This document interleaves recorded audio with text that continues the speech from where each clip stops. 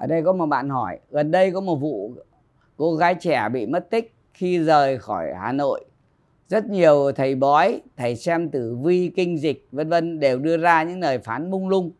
Nhà người nhà rất mệt mỏi trong việc tìm kiếm những cô gái trẻ.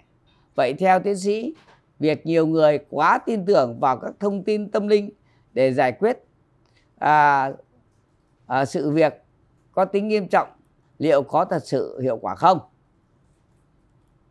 À, ở đây thì chúng ta chú ý này. À, ở đây cái tâm lý của các gia đình ấy thì thường là gì? Có bệnh thì bái tứ phương. Thì ai người ta nói thế nào thì à, cứ gia đình cứ đi theo. Thì đương nhiên thì đây là việc gì? Đây là một cái mảnh đất. Sự kiện này nó một cái, là một cái sự màu mỡ cho các cái nhà tâm linh dởm và ngoại cảm dởm rồi là nào là tử vi rồi kinh dịch nhảy ra để phô diễn tài năng.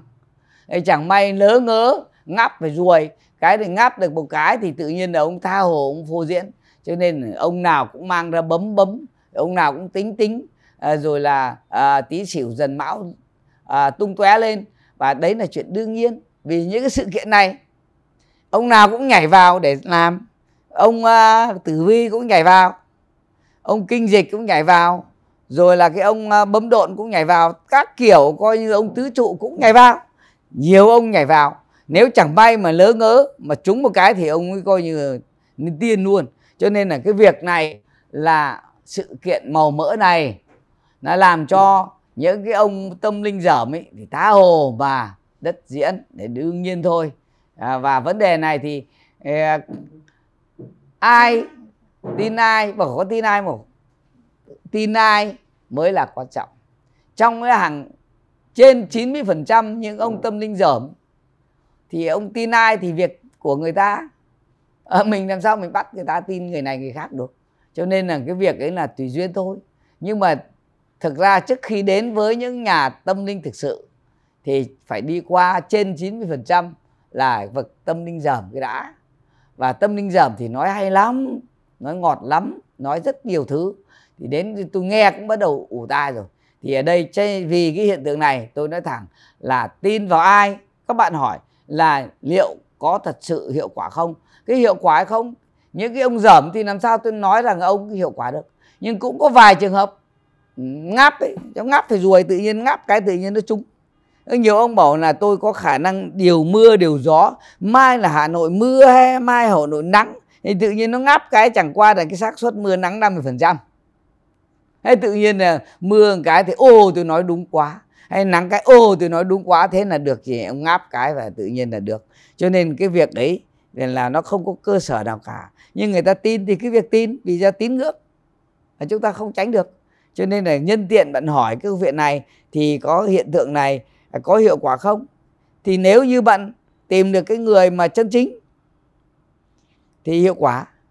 Mà tìm về cái ông dởm thì không hiệu quả còn ai là chân chính hay ai là dởm thì tôi biết rằng cái gia đình này tìm những ai mà biết được. Vì trong xã hội này 100 ông thì trên 90 ông là ông dởm thì biết làm thế nào. À, cho nên mà cũng tăng tung lên trên mạng á.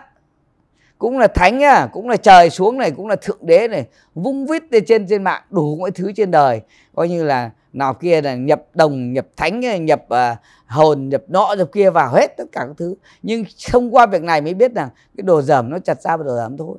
Thì tùy ai tin thì tin mà không tin thì tùy các vị thôi. Đấy, giống như là cái vụ cắt tường ấy. có một lũ người à, ra là bờ sông rồi là ông thì mang cả cái máy ra đo à, ông thì mang cái máy ra đo à, tần số mang cái máy à, à, xưng là máy tâm linh ra đo ông thì mang cái này ông thì mang bấm độn ông mang tử vi mang đủ các trò ra. Như vậy thì ở đây tôi nó nói là những sự kiện quan trọng này cũng là à, một cái đất để cho các vị phô diễn.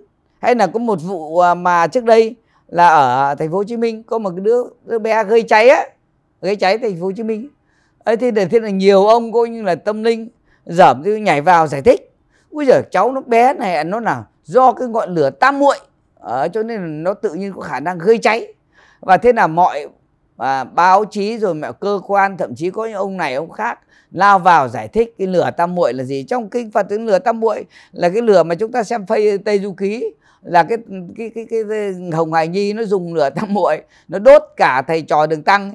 À, đốt cho tôn ngộ không nó cháy coi như là thui luôn cái lửa tam muội thế bây giờ lấy cái lửa tam muội xong giải thích cho đứa bé gây cháy. Xong cái đứa bé gây cháy này lại phải dùng lửa tam muội. Xong lửa tam muội này bắt đầu là phải à, cho uống nước dừa ở một cái hiệu nào đó. Lúc cái tôi đọc báo tôi cũng thấy buồn cười. Đến cái cửa hàng à cái cái cái cái cái, cái, cái bán nước dừa ấy, xong lấy cái nước dừa ấy xong thầy ngoại cảm phóng nước dừa vào đấy để uống thì nó à nó sẽ hết cái nó làm dập tắt những lửa tam muội tôi đọc và đúng là một cái coi như là một tập đoàn mê tín dị đoan mà thế mà cũng cũng đăng lên. Nhưng chúng tôi ở đây có một kênh khác tôi biết rằng gì? Cái hiện tượng đó chẳng có lửa tam muội hay tứ muội gì cả nhất muội tam muội không có gì cả. Đấy là cái ông hoang tưởng nghĩ ra thôi. Mà chẳng qua cái vụ đứa bé gây cháy thành phố Hồ Chí Minh à, cách đây cũng phải chục năm thì không biết đâu là do gì? Do mẹ nó bày đặt ra thôi không có gì cả làm cho thành cái kinh thiên động địa lên rồi làm dùm beng lên. Đấy, thì hay là vừa, vừa rồi cũng có à, cách đây cũng hơn chục năm à, thì 10 15 năm mới có một vụ mà cái cháu bé ở Vĩnh Phúc ấy rồi mẹ nó cũng dẫn đi rêu rao các nơi. Nó viết được cả cái chữ nào là à, chữ à, chư thiên rồi cái nó viết được cái chữ này chữ khác chữ lạ rồi là kể cả một cái ờ, người bà dẫn một đứa cháu ở trong Quảng Nam Đà Nẵng ra đây Bình Định Huế ra đây chúng tôi thẩm định một thời gian chúng tôi cho đặt máy theo dõi. Đấy là toàn bịp hết toàn bị hoang tưởng nó ra hết.